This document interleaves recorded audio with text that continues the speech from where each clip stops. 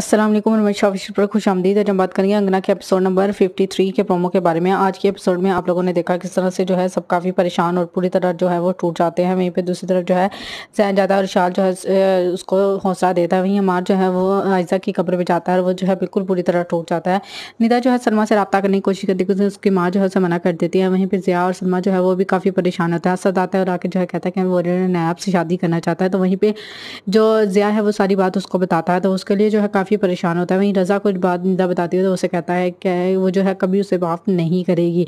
वहीं पर दूसरी तरफ़ अबीहा जो है वो सबको कहती है कि आपको जो है ख़ुद को संभालना होगा। वहीं पर दूसरी तरफ़ जो है अजहर और उसकी बीवी जो है वो अपनी बेटियों की वजह से काफ़ी परेशान होते हैं। वहीं हमार उसकी हमारे अब की माँ उसकी वजह से काफ़ी परेशान होती है। ना आपकी तबीयत ख़राब होती है तो वहाँ पर अजहर जो है उसे कहता है, आपको अपना ख्याल रखना चाहिए।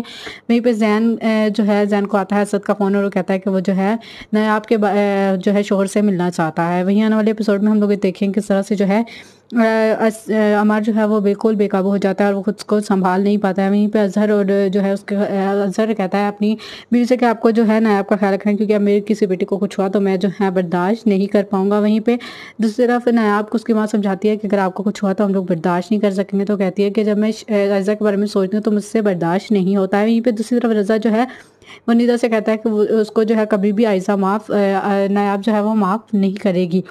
वहीं पे दूसरी तरफ़ जो है, अमार जो है, बिल्कुल पूरी तरह टूट जाता है, खुद को संभाल नहीं पाता। वहीं पे जो सायरा है, वो कहती है इशाल से कि मैं जो है, अगले जुमे को जैन की दुल्हन लेके आ रही हूँ। अब देखना, ये आने वाले एपिसोड में क्या होगा? क्या जो है, अभी इसकी बेटियों की ज़िंदगी में कोई मुश्किल पैदा होंगी? क्या वो खुद को संभाल सकेंगे? आप अपनी रेकमेंड के ज़रिए ज़रूर दीजिएगा।